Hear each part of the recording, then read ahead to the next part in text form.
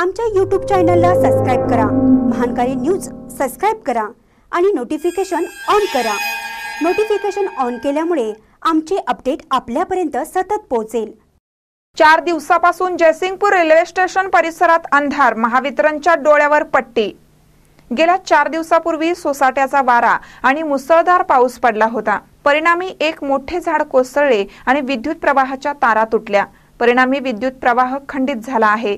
ही घटना होऊन चार दिवस झाले तरीही या परिसरात लाईटचा पत्ता नाही. त्यामुळे गेले चार दिवस रेल्वे स्टेशन परिसर अंधारात आहे. त्यामुळे महावितरणने तात्काळ लक्ष घालून विद्युत प्रवाह सुरळीत करावा अशी मागणी नागरिकातून होत आहे. महानकर न्यूजसाठी जयसिंगपूरहून ऋषिकेश पावचे.